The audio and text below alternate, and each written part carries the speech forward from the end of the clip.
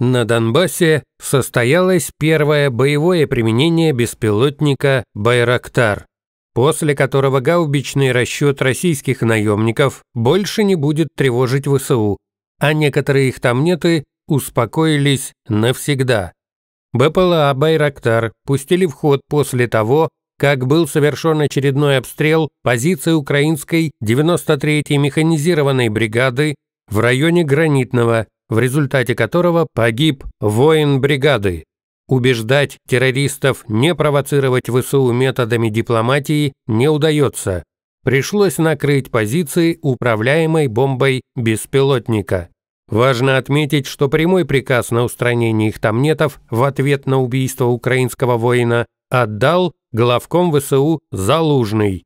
Таким образом, тактика «главное перестать стрелять» которую продолжает повторять «Зерезидент», больше не является прикрытием для бесчинств террористов, и на каждую подлянку они будут получать симметричный ответ. В Балалайне от события возле Гранитного пригорело, и пропаганда начала разносить весть о том, что Украина, вопреки запрету, применила боевой дрон. Вонь поднялась не столько из-за того, что после удара беспилотника пришибло очередного их тамнета, а потому что российское ПВО и средства РЭП, которые развернуты в этом районе, не только не смогли создать помехи и сбить беспилотник, а даже обнаружить его.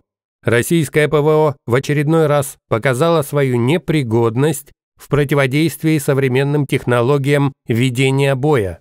Так было в Карабахе, так происходит на Донбассе. Кремль мобилизовал своих друзей из немецкого МИДа, который сразу высказал глубокую озабоченность и заявил, что беспилотники на Донбассе имеет право запускать только мониторинговая миссия ОБСЕ. Немецкий МИД возмутило и обеспокоило усиление боевых действий на востоке Украины, а также сообщение украинского генштаба о том, что ВСУ в ответ на артобстрел и убийство солдата применили дрон «Байрактар». По логике Германии, украинская армия и дальше должна терпеть обстрелы и убийства военных, потому что только ОБСЕ, миссию которого на Донбассе заблокировала Россия, может использовать беспилотники.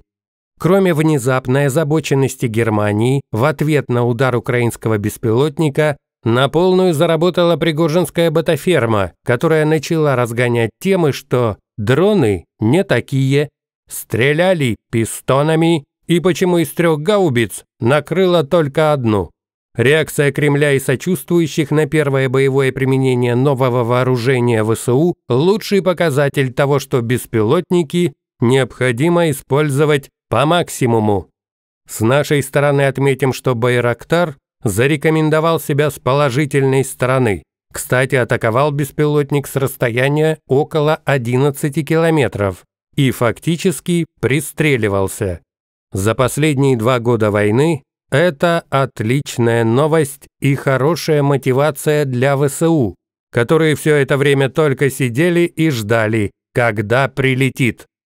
Теперь террористам может прилететь откуда угодно в любой момент.